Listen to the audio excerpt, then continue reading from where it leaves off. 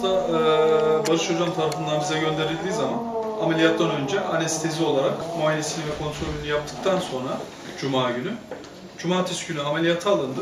Damar yolları açılarak hasta uyutuldu. Cerrahiye teslim edildi.